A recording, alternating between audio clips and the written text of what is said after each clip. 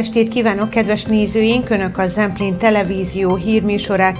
A hírhetet látják november 14-én este 19 órakor. Nézzük mai legfontosabb híreinket előbb egy-egy mondatban. Borkulturális kalandozások Tokajhegy alján. Nyílt nap a Georgikonban. December másodikáig lehet jelentkezni a központi írásbeli felvételire. A Sátorai Újhelyi Kazinci Ferenc Múzeumban elindult a Bor Kulturális Kalandozások Tokaj hegyalján című rendezvénysorozat. Legújabb állomása a kádármesterség bemutatása volt. Ehhez erdőbényéről érkezett két kádár, akik nem csupán meséltek a szakmájuk történetéről és feladataikról, hanem egy interaktív bemutatót is tartottak a megjelentek számára, mely során mindenki elleshette a hordó készítés menetét csímvágó, ontorázó és oldalfug.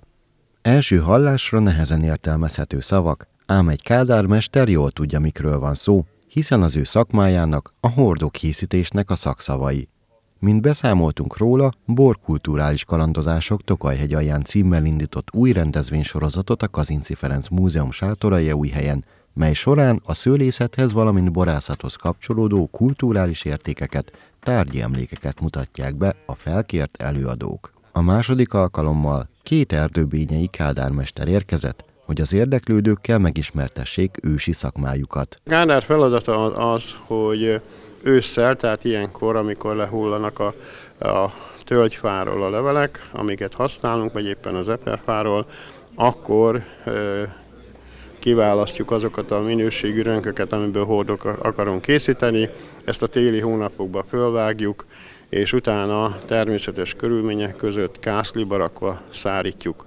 Ez minimum kettő év ez a, ez a szárítási vagy pihentetési időszak, és két év után kezdünk ebből olyan edényeket készíteni, amire igénye van a piacnak, amit a borász szeretne, tehát ez onnantól indul el igazából a az anyagnak az elkészítése. Hotyek Attila, harmadik generációs kádár, náluk családi örökség a mesterség, mely a jelek szerint nem fog személyével kihalni, hisz fiával tartotta az interaktív bemutatót. Nagyapámat is láttam már dolgozni, utána apukámmal hát már kicsi koromba ott kellett lenni, és amit lehetett a gyerekre mindig rábíztak egy-egy komoly, egyre komolyodó feladatokat, és büszkén mondhatom, hogy a fiam, aki szintén részt vesz itt a mai bemutatón, ebben, tehát ő a negyedik generációs, azon kívül a lányunk, mint nő, ő most tanulja a szakmát, és ő is részt vesz ebbe a tevékenységbe. Más, már, és még egy dolgot hagyom csak meg, hogy a most három éves unokám is nagy érdeklődéssel mászkál a műhelyben. Úgy készültünk, hogy én a mesterség történetéről, a hordókészítés, előkészítés mikéntjéről fogok, fogom tájékoztatni a hallgatóságot, és a fiam ezzel párhuzamosan előkészített hordókat egyszer összerakja, meghajlítja, egy harmadikba pedig belerakja a feneket. A múzeum igazgatója tervei szerint akár több mint 30 alkalmat is megélhet a programsorozat. Az a koncepciónk, hogy itt a borvidéken élők nagyon kevéssé vannak tisztában azzal, hogy milyen értéket jelent a tokai bor, mint fogalom, ami nem pusztán egy kellemes ital, egy olyan nedű, ami világhírűvé tette egykor ezt a régiót, hanem egy olyan jelenség, ami önmagán messze túlmutat, és nagyon bonyolult és sokrétű kulturális hagyományrendszer tapad magára a tokai borra, mint fogalomra, akár az anyagi kultúra, akár a folklór, szellemi kultúra vonatkozásában, és itt a múzeum talán a legideálisabb terepe annak a néprajzos és egyéb kollégák bevonásával, akik tudják prezentálni ezt a témakört, és hát hál' Istennek nagyon élénk és virulens kapcsolatunk van a régió valamennyi borászatával. Az esemény borkóstolással és néprajzi ismeretanyag átadással is kiegészült. Rák Gergelynek, valamint Darmus Istvánnak köszönhetően. Több mint 150 diák vett részt a Georgikon görög-katolikus mezőgazdasági és élelmiszeripari technikum szakképzőiskola és kollégium nyílt napján helyen. A nyolcadikos tanulók egy nagy döntés előtt állnak, hiszen néhány héten belül el kell dönteniük, hogy melyik középiskolába folytatják tanulmányaikat. Ennek jegyében szervezték meg ezt az eseményt, így az oktatási intézmény minden ágazatába képzésébe betekintést nyerhettek. Az udvaron traktorok, az aulában pedig torták, sütemények és pékárok is helyet kaptak a Sátorai Újhelyi Georgikon, görögkatolikus mezőgazdasági és élelmiszeripari technikum, szakképzőiskola és kollégium nyílt napján.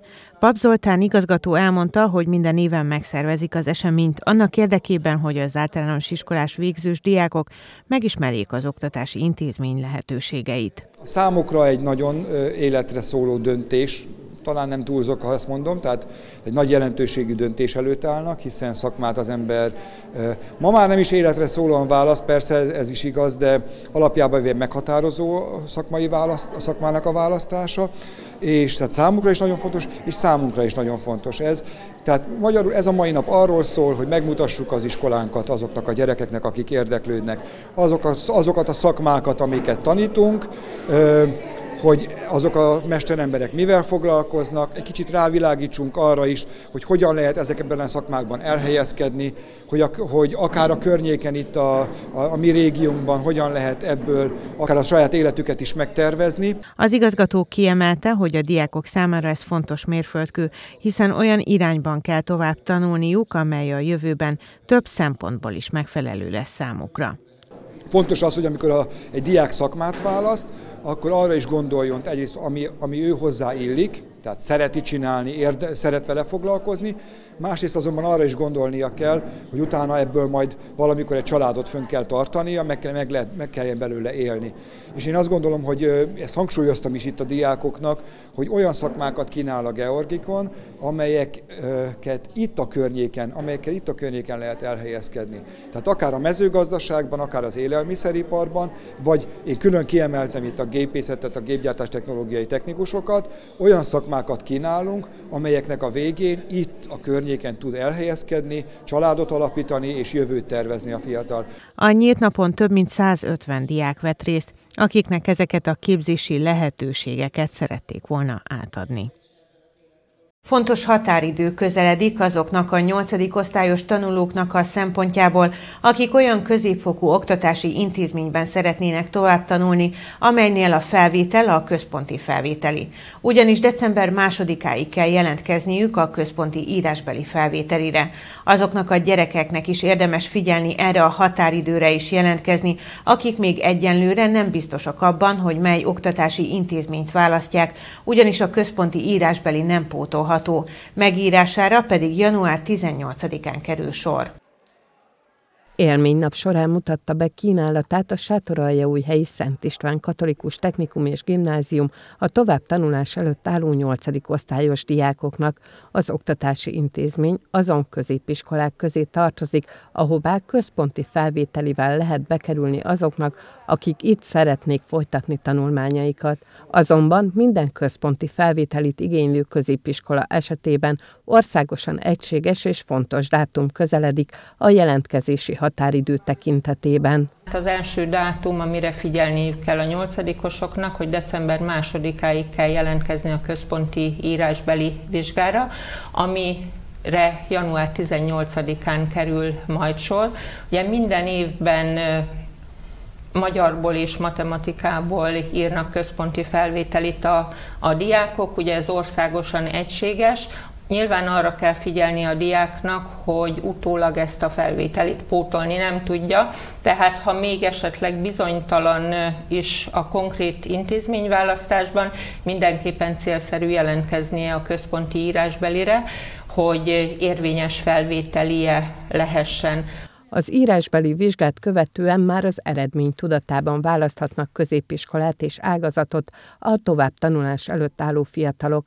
A jelentkezési határidő ez esetben február 20-a. Február 20-a az a dátum, amikor a konkrét intézményben meg kell jelölnie az ágazatokat, ahol tanulni szeretne, és nálunk még kiegészül a felvételi a szóbeli vizsgával, ami igazából nem vizsga, hanem egy elbeszélgetés, ahol a diákok motivációját, mindennapjait, elképzeléseit szeretnénk megismerni, erre pedig március elején kerül sor, március 3-án lesz a Keriben ez a szóbeli elbeszélgetés.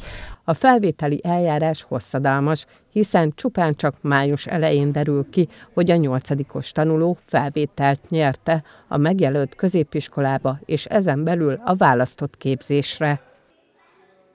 Október és november a szallagavatók időszaka. A sátorai újhelyi középiskolák is sorban rendezik az ünnepi alkalmakat. A Trefort Ágoston szakképzőiskolában idén 29 olyan diák tanul, aki ebben a tanévben tesz szakmai vizsgát. Ők kapták meg a középiskolai tanulmányaik utolsó évét szimbolizáló szallagot a Latabár Színházban tartott ünnepség során.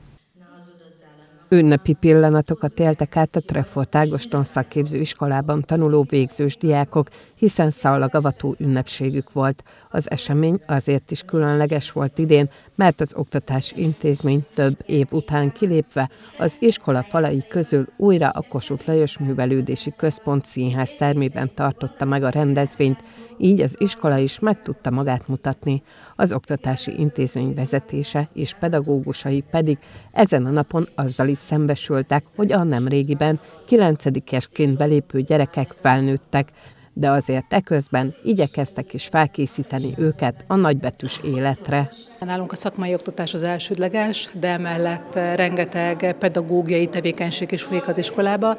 Számtalan lehetőséget, életutat, példát mutatunk be a gyerekeknek, és akkor ezen a nevelő tevékenységen kész, keresztül készítjük őket az iskolár kívül életre, tehát a a továbbtanulásra, vagy a, a munkavállalásra.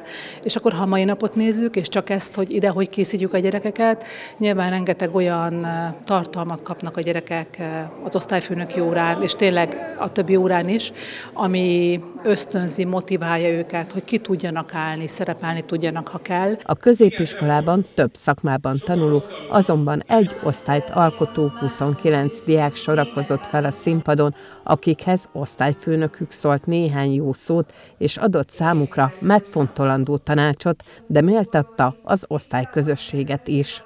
Sajnos szeptemberben két osztály össze lett vonva, és úgy lettem én osztályfőnök a két osztálynak, de ez alatt a rövid idő alatt én úgy érzem, hogy egészen jó egymás segítő közösség alakult ki. Nagyon sokat dolgoztak, azért, hogy ma nagyon szépen felöltözve, egy nagyon jó műsorral várják a rokonaikat, barátaikat, szeretteiket. Az ünnepség keretében a végzősöktől szalagot kapott az iskola igazgatója és az osztályfőnökük, majd Erdei József egyenként minden tanítványának feltűzte a tanulmányaik utolsó évét szimbolizáló jelképet. Nagyon megható, hogy most ez a nap is eljött, és örülök neki, hogy idáig eljutottam. Három éve, hogy a kereskedelmi értékesítő szakmát tanulom. Szeretek itt lenni, jó a közösség, jó a szakmám, szeretem csinálni. A diákok az ünnepi alkalomra a hagyományok szerint műsorszámokkal is készültek. A jelenlévők láthatták, hogy miből lett a cserebogár, de azt is, hogy milyen elegánsak a fiatalok, miközben táncot lejtenek a színpadon.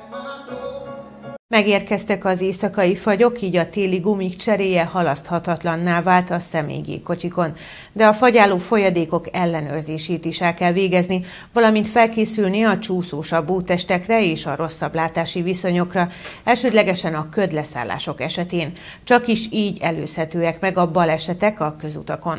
A gépjárművek felkészítésén túl a sofőröknek is fokozott figyelemmel kell közlekedni. A hajnali fagyok jelentősen befolyásolják a közlekedési viszonyokat az utakon. Ezek a megváltozott viszonyok egyaránt igénylik a járművek, valamint azok vezetőinek felkészültségét. Az utak csúszósak, gyakoriak a ködleszállások. Télen nem csupán az útviszonyok, hanem a látási viszonyok is mások a nyári időszakhoz képest. A saját és embertársaink testi épségére így még jobban oda kell figyeljünk. A járműnél mi szokott lenni? Alapvető dolog a téli gumi használata, vagy aki ugye kevesebbet megy, meg sokat megy helyben, azok használjanak ugye négy évszakos gumit. A megfelelő fagyáló folyadékok lecserélése, tehát ablakmosó folyadék, az belefagy az ablakmosó tartályba már ilyenkor reggel, és nem akar törölni az ablaktörlőn.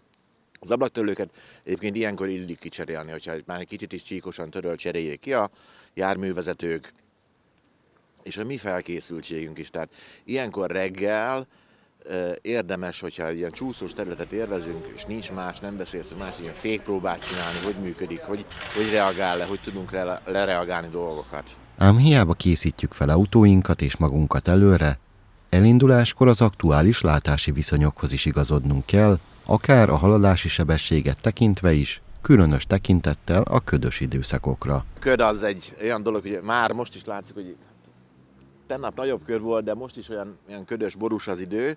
Ilyenkor nem ártana, ha mindenki használna a tombított fényszórót. Felejtsük el a menetjelző lámpát, nekem az a javaslatom, hiszen hátul nincs kivilágítva a jármű. És ilyen látás mellett még felejtsük már el a ködlámpát, mert az a baj, hogy ha valaki érünk, nem kapcsolja le a ködlámpát, szinte kiolvasztja a másik szemét. Némelyik ködlámpa már ezek a ledes fények olyan erősek, hogy nagyon erősek, és és nagyon zavaró tud lenni egy körlámpás után való haladás. Figyeljünk oda arra, hogy mindig a látási és időjárási viszonyoknak megfelelő haladási sebességgel, felszereltséggel és kivilágítással közlekedjünk. Fontos látni és látszani is. Így a balesetek elkerülhetőek, emelte ki a szakember. Hírműsorunk végén pedig nézzük még egyszer legfontosabb híreinket egy-egy mondatban. Borkulturális kalandozások Tokaj-hegy alján. Nyílt nap a Georgikonban. December másodikáig lehet jelentkezni a központi írásbeli felvételire. Kedves nézőink, én már megköszönöm a megtisztelő figyelmüket, friss hírekkel a megszokott időben. Pénteken este 19 órakor jelentkezünk, tartsanak velünk holnap is. Viszontlátásra!